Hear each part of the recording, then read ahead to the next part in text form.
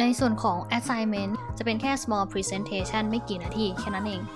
งานนี้นะคะ งานนี้ โอ้โทษทีลืมขยายให้นะคะ งานนี้นะคะ การบ้านในงานนี้ก็จะเป็นงานเดี่ยวอีกเช่นเคยเนาะ individual work นะคะ individual work เป็นงานเดี่ยว แล้วก็จะให้แต่ละคนนะคะ สิ่งที่พวกเราต้องทำก็คือจะให้แต่ละคนไปหา article หรือว่าบทความมาหนึ่งบทความ ที่เกี่ยวกับการออกแบบงานดีไซน์สถาน สถาปัตยกรรม จะเป็นในเรื่องของประวัติศาสตร์บทความการนำเสนอวิธีการออกแบบนู่นนั่นนี่หรือเป็นโมเดลต่างๆ คืออะไรก็ได้นะ อะไรก็ได้ที่เกี่ยวกับ design or architecture that you like from the website English or Thai language are both okay ก็คือให้แต่ละคนไปหาบทความมา ไม่ว่าจะเป็นบทความภาษาไทยหรือภาษาอังกฤษ ก็ได้หมดนะคะได้หมด บทความเกี่ยวกับอะไรเกี่ยวกับงานดีไซน์ หรือว่าการออกแบบ หรือเอเกี่ยวกับทางสถาปัตยกรรมอะไรก็ได้ที่พวกเราชอบนะคะคือเกี่ยวกับสายงานวิชาชีพของพวกเรานั่นแหละ ที่พวกเรากำลังเรียนอยู่เนาะเลือกมาคนละหนึ่งอาร์ติเคิลนะคะอย่าเป็นพยายามเลือกที่มันยาวนิดนึงเนาะเป็นบทความที่มันยาวนิดนึงไม่งั้นพวกเราจะไม่สามารถเอามาสรุปเป็นเวอร์ชั่นของตัวเองได้นะคะพอหลังจากที่เราอ่านบทความเสร็จเรียบร้อยแล้วเนี่ยให้แต่ละคนเนาะ ให้แต่ละคน summarize ออกมา ก็คือสรุปข้อความนั้นออกมา ไม่ใช่สรุปแค่ประโยคสองประโยคนะ สรุปใจความสำคัญทั้งหมดออกมา เสร็จแล้วให้พวกเราเนี่ยเอามาเขียน outline เป็น point point ว่า เราจะพูดถึงในประเด็นไหนใน point ไหนบ้าง outline ตัวอย่างก็อย่างที่ครูบอกไปในคลิปวิดีโอ เดี๋ยวจะอัปโหลดไฟล์เอ่อไฟล์ไฟล์เนื้อหาให้ด้วยนะคะ write an outline เนาะ หลังจากนั้น after you have an outline หลังจากที่เราเขียน outline เสร็จแล้ว ก็คือมันจะเป็น outline สำหรับเตรียม present นั่นแหละนะคะพอเขียน outline เสร็จแล้วต่อไปก็ให้พวกเรานะคะ ให้แต่ละคนนะคะมาเขียนสคริปต์บทที่จะพูด เนาะ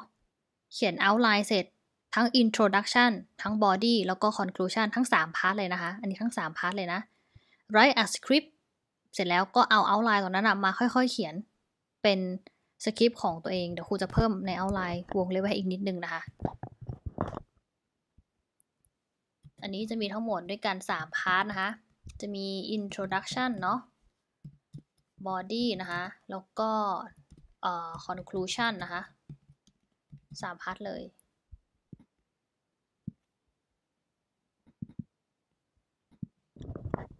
นะ write an outline introduction body conclusion เสร็จแล้วก็ มาเขียนสคริปต์สคริปต์คือเป็นบทพูดทั้งหมดอะค่ะ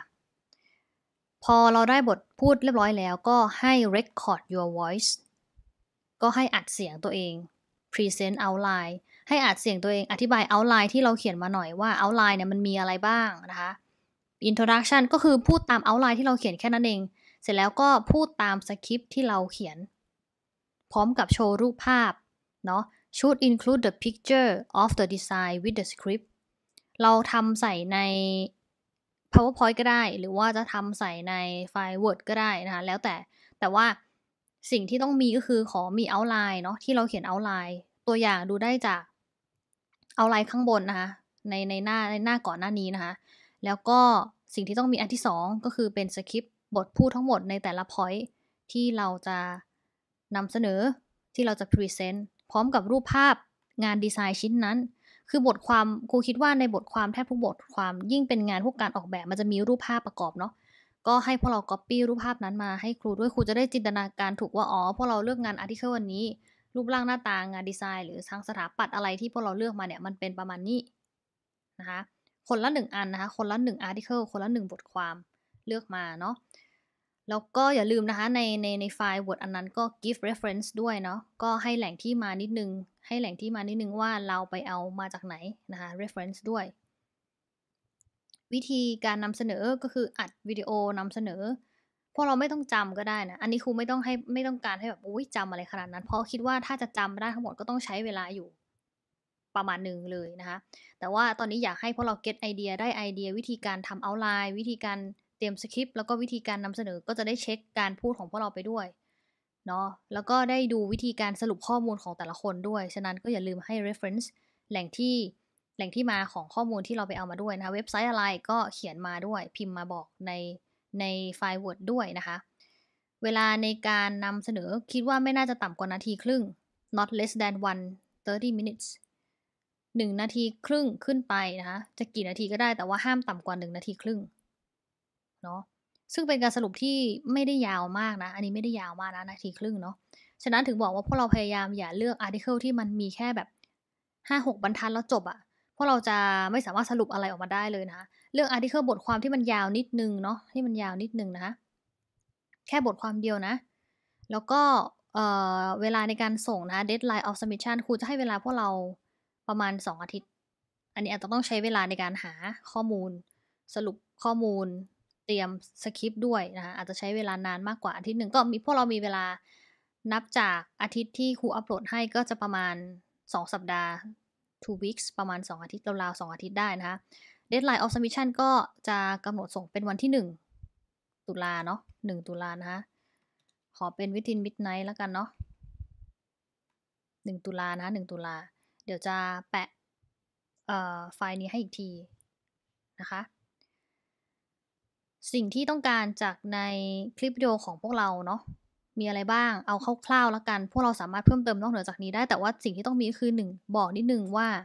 what is it about มันเกี่ยวกับอะไร รูปที่เราเลือกมาเนี่ยเกี่ยวกับอะไร how it looks like แล้วงานดีไซน์ชิ้นเนี้ยมันมันมีลักษณะเป็นยังไง มันคืออะไร มันมีลักษณะเป็นยังไง อธิบายนิดนึง อันนี้อาจจะไม่ได้อยู่ในบทความของพวกเรา แต่ว่าพวกเราต้องเขียนบอกครูนิดนึงว่าเลือกที่ไอรูปภาพอันเนี้ย article ที่เราเลือกมาเนี้ยมันเกี่ยวกับอะไร นะคะ what the period of time is the design ไองานออกแบบชิ้นนี้มันเป็นมันเป็นงานดีไซน์เขาเรียกว่าอะไรอยู่ในยุคอยู่ในช่วงเวลาไหน ถ้ามีนะ อันนี้คือถ้ามี ถ้าสมมติส่วนใหญ่ก็จะมีหมด ถ้าพวกเราเลือก article หรือบทความมันนั้น ที่มันพูดถึงเกี่ยวกับงานดีไซน์ที่มันเป็น modern อะ พวกเราก็แค่บอกไปว่าอันนี้มันเป็น modern design นะ it looks like a modern design เป็นการออกแบบแบบร่วมสมัยสมัยใหม่ ที่ในปัจจุบันนี้หรือเป็นการออกแบบอะไรสักอย่างสำหรับในโลกอนาคตก็คือเป็น modern design ไปเลย หรืออาจจะเป็นแบบ contemporary design ก็ได้เป็นการดีไซน์ออกแบบร่วมสมัย contemporary design minimal design eco design ก็คือได้หมดเลย อันนี้เป็นเป็นภาพรวมที่พวกเรามองกับบทความนั้น หรือว่ามองรูปภาพรูปนั้นอะไรเงี้ยค่ะ อันนี้ในในในฝั่งของพวกเราที่ตีความเนาะหรืออาจจะเป็นเนี่ย this design is created in ชิโนโปรตุกีสสไตล์อาจจะเป็นในในพาที่เป็นแบบสไตล์แบบนี้ก็ได้ พวกเราก็ลองดูรูปประโยชน์แล้วกัน จะใช้คำว่า it it look like a modern design ก็ได้ it is a contemporary design ก็ได้ หรือจะใช้คำว่า this design is created ก็คือ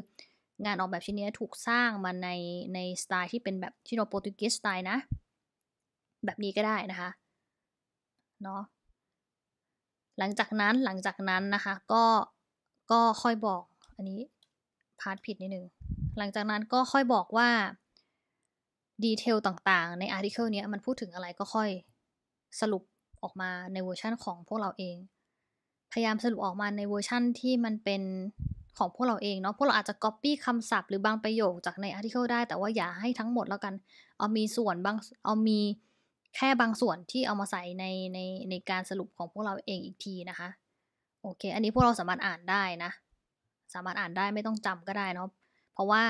ก็จะให้อ่านทั้งเอาไลน์ที่เราเขียน แล้วก็ทั้งสคริปที่เราเขียนด้วยนะคะ อีกครั้งหนึ่งกำหนดส่งเป็นวันที่ 1 ตุลานะคะ ก็ภายในเที่ยงคืนเหมือนเดิมเนาะมีเวลาทำประมาณสัก 2 อาทิตย์